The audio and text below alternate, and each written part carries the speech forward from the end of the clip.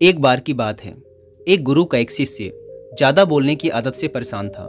वह जब भी किसी से मिलता तो मिलने के बाद अपने मित्रों के सामने उस इंसान के बारे में अपने विचार देना शुरू कर देता। उससे कोई पूछे या ना पूछे, वह अपने आसपास की लगभग हर चीज़ के बारे में अपनी राय बता देता। आश्रम में रहने वाले लगभग हर छात्र और शिक्षक के बारे में उसकी अपनी सकारात्मक या नकारात्मक राय थी, जिसे वो बिना सोचे समझे लोगों के सामने रख देता। जब भी आश्रम में रहने वाला कोई दूसरा छात्र अपनी कोई समस्या लेकर उसके पास आता तो वह उसकी पूरी बात सुने बिना ही उसे सलाह देना शुरू कर देता। वह अक्सर अपने मित्रों से कहता रहता कि तुम्हें यह काम ऐसे करना चाहिए था, वो काम ऐसे करना चाहिए था। उसे अपनी आसपास की चीज़ों के बारे में जो भी आधा अधूरा ज्ञान था, मित्रों के बीच गपशप के समय वह बोल बोल कर अपने उस ज्ञान का दिखावा करता। उसकी इन हरकतों की वजह से आश्रम का कोई भी छात्र या शिक्षक उसे गंभीरता से नहीं लेता था। अक्सर उसके साथ पढ़ने वाले छात्र उससे दूर रहने की कोशिश करते, क्योंकि वह हर बात पे उन्हें सलाह देने लग जाता था। कोई भी उसे अपना मित्र नहीं बनाना चाहता था। सब उससे दूर रहना ही पसंद करते थे। और अक्सर आश्रम में रहने वाले दूसरे छात्र उसके पीठ पीछे, उसकी इन आदतों की वजह से उसका मज़ाक बनाते। उस लड़के को भी पता था कि उसकी ज़्यादा बोलने की आदत की वजह से कोई भी उसे पसंद नहीं करता।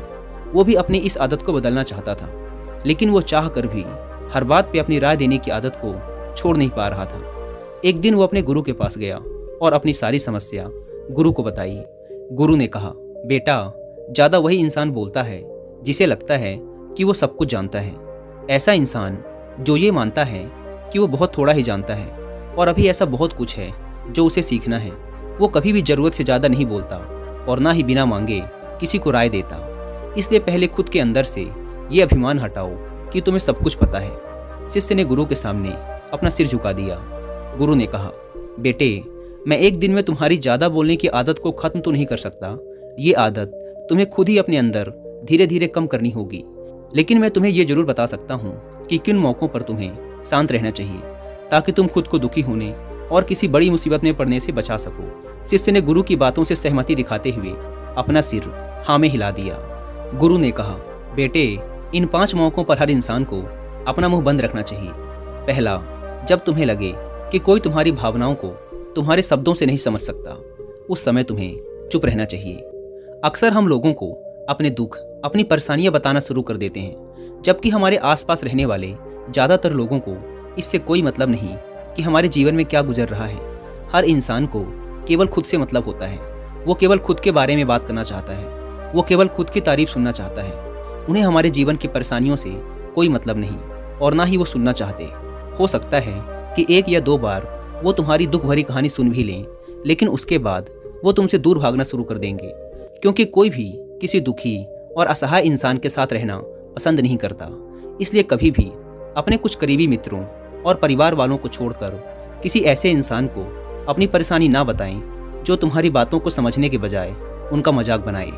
दूसरा, जब तुम्हें ये ना पता हो कि किसी विशेष मौके पर क्या बोलना है, या फिर तुम्हें किसी विशेष घटना के बारे में आधा अधूरा ही ज्ञान हो तो ऐसे मौके पर भी तुम्हें चुप ही रहना चाहिए। ऐसा इंसान, जो आधा अधूरा ज्ञान होने के बाद भी उस विषय में बात करता है, वो अक्सर ही मज़ाक का पात्र बनता है, और कोई भी ऐसे इंसान को कभी गंभीरता से नहीं लेता। अपनी बात को प्रभावशाली तरीके से वही इंसान रख सकता है, जिसे उस घटना या विषय के बारे में गहराई से जानकारी है। इसलिए कभी भी आधी अधूरी और इधर उधर से मिलने वाली जानकारी के आधार पर लोगों से अपनी बात मनवाने की कोशिश ना करें। हालाँकि दोस्तों प्रभावशाली बातचीत करना और एक ऐसा इंसान बनना जिससे हर कोई बात करना चाहे, जिसे हर कोई सुनना चाहे, ये भी एक कला है, जिसे हर इंसान सीख सकता है। आप भी सीख सकते हैं। बस आपको बातचीत को शुरू करने और उसे लीड करने के कुछ सीक्रेट जानने की ज़रूरत है। और ये सारे ही सीक्रेट बताए गए हैं इस बुक में, जिसका नाम है how to talk to any मैं दावे के साथ कह सकता हूँ कि इस बुक को पढ़ने के बाद आप अपने बातचीत करने के तरीके में एक गजब का बदलाव देखेंगे।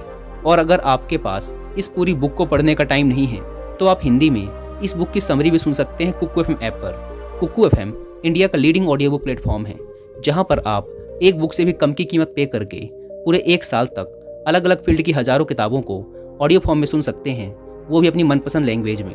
वैसे तो इस प्लेटफॉर्म के एक साल का सब्सक्रिप्शन पड़ता है तीन सौ निन्यानवे रुपये का, लेकिन ये पहले 250 लोगों को मिलेगा, सिर्फ़ एक सौ निन्यानवे रुपये में। अगर आप यूज़ करते हैं coupon code W I fifty यानी कि रोज़ एक रुपये से भी कम की कीमत पर। अगर आप इस ऐप को डाउनलोड करना चाहते हैं तो link description and first comment पर मिल जाएगी। तीसरा, गुरु ने कहा, जब कोई इंसान तुम्हारे सामने किसी तीसरे इंसान की बुराई कर रहा हो, तब ऐसी परिस्थिति में भी तुम्हें चुप रहना चाहिए। तुम्हें कभी भी ऐसी नकारात्मक बातचीत का हिस्सा नहीं बनना चाहिए, क्योंकि आज जो इंसान तुम्हारे सामने किसी तीसरे इंसान की बुराई कर रहा है, वही कल किसी और के सामने तुम्हारी भी बुराई करेगा। और इस बात की ज़्यादा संभावना है कि आज तुमने उसकी हाँ में हाँ मिलाने के लिए तीसरे इंसान की जो बुराई की है, कल रिश्ते ठीक होने पर वो उस तीसरे इंसान से भी कहे कि तुमने उसके बारे में क्या क्या कहा था। इसलिए जब भी कभी कोई किसी तीसरे इंसान की बुराई करे या उसके गलत समय का मज़ाक उड़ाए तो तुम्हें बस उसकी बातें सुन लेनी है। अपनी कोई भी राय वह नहीं रखनी। अगर तुम ऐसा करते हो तो भविष्य में तुम्हारे लिए समस्या खड़ी हो सकती है। गुरु ने कहा, चौथा जब कोई तुम्हारे ऊपर गुस्से और घृणा से चिल्लाए, तुम्हारा अपमान करने की कोशिश करे, तब ऐसी परिस्थिति में तुम चुप रहकर सामने वाले के गुस्से और घृणा को कम कर सकते हो। साथ ही तुम स्थिति को खराब होने से बचा भी सकते हो। जब तुम सामने वाले के क्रोध का जवाब क्रोध से ना देकर उस समय चुप रह जाते हो, तब यह बात उस क्रोध करने वाले इंसान के दिल में लगती है। गुस्सा कम होने पर उसे अपनी गलती पर पछतावा होता है और ज़्यादा संभावना है कि वो अपनी गलती के लिए तुमसे क्षमा मांगे। और क्षमा नहीं भी माँगता तो वह अंदर ही अंदर खुद को दोषी समझने लगता है। और फिर वह अगली बार तुम पे गुस्सा करने व घृणा करने से पहले कई बार सोचेगा, लेकिन तुम्हें हर परिस्थिति में चुप भी नहीं रहना। अगर कोई गलत कर रहा हो तो तुम्हें उसका जवाब भी देना है, क्योंकि कुछ लोग ऐसे भी होते हैं, जिन्हें हमारा चुप रहना हमारी कमज़ोरी प्रतीत होता है।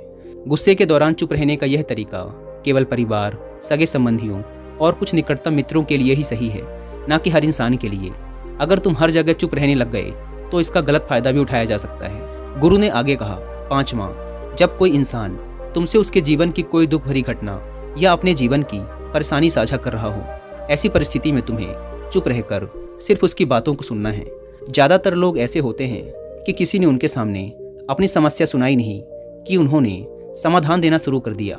जबकि जब कोई इंसान हमसे अपनी परेशानी साझा कर रहा होता है तो वो हमसे किसी सुझाव की उम्मीद नहीं करता। वो बस ये चाहता है कि हम उसकी पूरी बात ध्यान से सुन लें, क्योंकि जब हम किसी की परेशानी को ध्यान से पूरा सुन लेते हैं तो उस इंसान को एक आत्मिक शांति मिलती है। उसे ऐसा लगता है कि चलो किसी ने तो मेरी बात को समझा। अधिकतर मौक़ों पर जब लोग हमसे अपनी परेशानी साझा करते हैं तो वो बस हमें अपनी बात बताना चाहते हैं। वो ये नहीं चाहते कि हम उन्हें सलाह देना शुरू कर दें, क्योंकि जो सलाह हम उन्हें देने वाले हैं, वो सब उन्हें पहले से ही पता है। परेशानी के समय में किसी इंसान को संतावना देने का सबसे अच्छा तरीका है कि हम बस उस इंसान की पूरी बात को ध्यान से सुन लें। जब हम लोगों की बातों को बिना उन्हें बीच में रोके और बिना किसी सलाह दिए पूरे ध्यान से सुनते हैं तो उनकी नज़रों में हमारे लिए सम्मान और स्नेह का भाव पैदा हो जाता है। हम ज़्यादा गंभीर, समझदार और शांत दिमाग वाले इंसान प्रतीत होते हैं। इसलिए अब जब भी अगली बार तुम्हें कोई अपनी परेशानी बताए तो बस उनकी बातों को ध्यान से सुन लेना और जब तक वो तुमसे ना मांगे तो उन्हें किसी भी प्रकार की सलाह मत देना। गुरु ने कहा मेरी एक बात हमेशा याद रखना। जब तुम कम बोलते हो तो लोग तुम्हारी तरफ़ ज़्यादा आकर्षित होते हैं कि तुम क्या हो और तुम क्या सोचते हो। शिष्य ने हाँ में सिर हिलाया। शिष्य अब गुरु की बातों को समझ चुका था कि उसे किन किन परिस्थितियों में शांत रहना है। उसने यह भी जान लिया था कि कम बोलकर वह आश्रम में अपनी प्रतिष्ठा वापस पा सकता है। उसने गुरु का धन्यवाद किया और वहाँ से चला गया।